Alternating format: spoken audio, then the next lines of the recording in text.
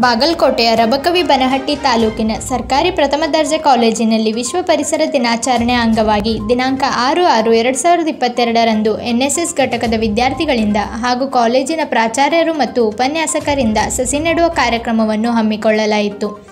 ಈ ಸಂದರ್ಭದಲ್ಲಿ ಸರ್ಕಾರಿ ಪ್ರಥಮ ದರ್ಜೆ ಕಾಲೇಜು ರಬಕವಿ ಬನಹಟ್ಟಿಯ ಪ್ರಾಚಾರ್ಯರಾದ ಶಂಕರ್ ಅರ್ಬಳ್ಳಿ ಹಾಗೂ ಉಪಪ್ರಾಚಾರ್ಯರಾದ ಶಂಕರ್ ಹಳಂಗಳಿ ಗುರುಗಳು ಮತ್ತು ಉಪನ್ಯಾಸಕರಾದ ಸಂಗಮೇಶ್ ಗುಟ್ಲಿ ಹಾಗೂ ವಿದ್ಯಾರ್ಥಿಗಳು ಉಪಸ್ಥಿತರಿದ್ದರು.